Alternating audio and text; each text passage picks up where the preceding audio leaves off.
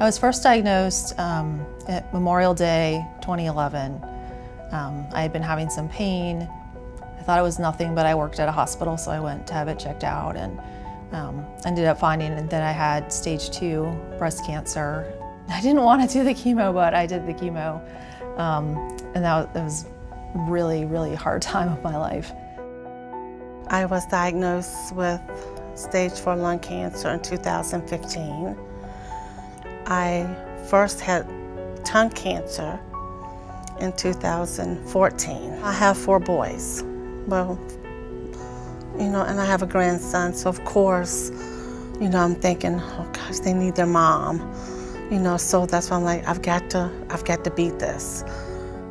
So here I am.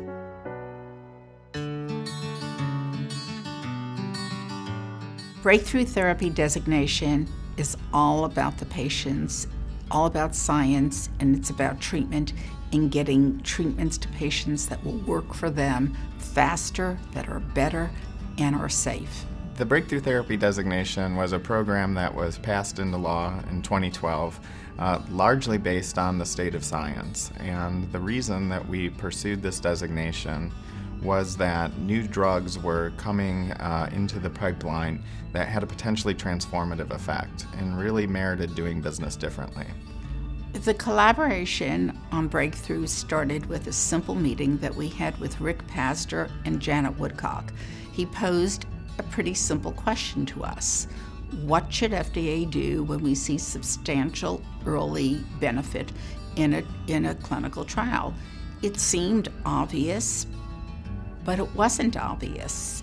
Breakthrough designation kind of started, I think, as a gleam in the eye of Rick Pazdur and me, um, because it was clear uh, with the development of the new targeted therapies and so forth that we were seeing some treatments of really special effectiveness. I think breakthrough therapy came out of the realization that we had to do something different for drugs that were really truly promising and showed pre preliminary evidence of uh, really outstanding activity. One of three Americans will get cancer in their lifetime. And so many of the cancers and other diseases don't have cures. And so what we really needed to do was to find a way to get the drugs from the research labs to the clinics. Breakthrough therapies is a wonderful way to do that, especially for diseases for which we don't have a cure. Drugs were being developed uh, with a aim of a, a specific target. And these targeted therapies for metastatic melanoma were really the ground zero uh, that brought forth the light that we really needed to start doing something different. Friends of Cancer Research and the Brookings Institution held a co-sponsored conference, and this was one of the topics. This was controversial at first, but uh, Friends really persevered in um, working up this idea and bringing in the community, bringing in the experts, talking it through until they developed some consensus around it. There was not a more resilient proponent of this legislation than Friends of Cancer Research, and I would say in particular Ellen, who beat me to death uh, over and over again about the importance of getting this done. Congress was essential in breakthrough, and their leadership and their commitment to patients in making this happen set the course for breakthrough. You know, they worked with us and helped us to understand forwards and backwards these issues, and then uh, help push the, the, legislation through. So, you know, we can take a lot of credit as, as senators, but uh, really it's the outside groups like that that I think make the difference. And I want to give them the credit because uh, they deserve it and, and uh, I want them to keep going. Ellen Sigal and Marlene Malik came to us and said, help, we need to get this bill passed through the House in order for it to become law. And of course, we uh, jumped right on that and were able to make that happen. Throughout the process of working to make breakthrough therapy a reality for patients, we saw something that we do not typically see in Congress, and that is bipartisanship. I couldn't find better partners than Richard Burr or Orrin Hatch on breakthrough therapies. It would literally, it would just would not have happened if There had not been bipartisan support. Our effort, we, we knew that, yeah, we could get maybe most of the Republicans, uh, but we needed the Democrats too. This was really important legislation that it's not only going to provide the hope for these folks, it's going to find the cure.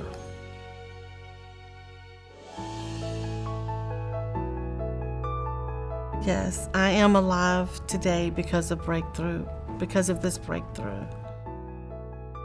Maybe another breakthrough therapy will come with a cure or with another ability to keep you from progressing.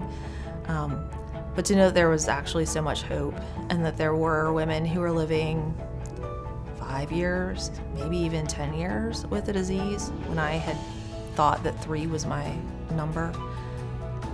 It just took a huge weight off of me. We really were expecting to see one drug a year. Uh, after the first year, though, we had had far more than one. And of course, we had only thought maybe five applications a year would come in because that would kind of been the track record over time that there aren't that many or hadn't been that many really transformative treatments uh, in any given year. I think one of the major issues with the breakthrough therapies is not only what the breakthrough therapies do for the drugs that get the designation, but really the change of culture here in the FDA. It really prompted our staff to work more closely with sponsors on really the continuum of drug development rather than looking at it in very truncated or individual drugs. The success of breakthrough therapy uh, has been emulated by other regulatory agencies, most notably by the EMA in Europe and also the Ministry of Health in Japan. So to Friends of Cancer Research, the only thing that I have to say, not only did you have an impact on the U.S. patient, but your effects are seen globally. I am so proud of Friends of Cancer Research and so thankful for all of our partners. We're just beginning with Breakthrough.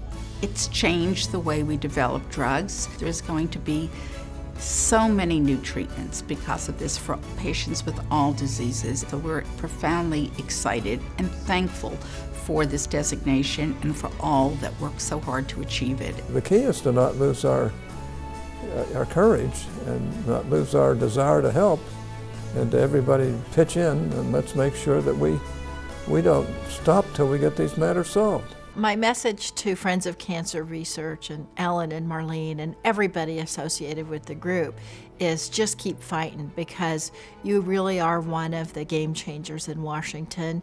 You're so special and we really we need you in this fight.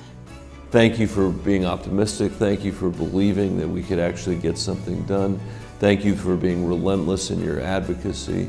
Thank you for insisting on bipartisanship at a time when our politics is so partisan. Uh, and I would say finally, thank you for creating such an enduring legacy. Well, it's a very exciting time for cancer research. Uh, new, new treatments are being, are being discovered all the time. And so I anticipate, hope, and pray that we will just continue to see more and more breakthrough therapies come out. And as soon as this drug that I'm on now stops working, that there'll be something maybe even more wonderful that's come out as a new breakthrough therapy. Um, and then another one after that, another one after that, until my life has ended up extending until I'm in a nursing home. March 2nd of 2016, I started that treatment and I've been on it ever since I'm doing well. I mean, I mean, I have more quality of life. Um, I can do more. I can be able to maybe see. I have two more boys I can see graduate. It's, it's amazing.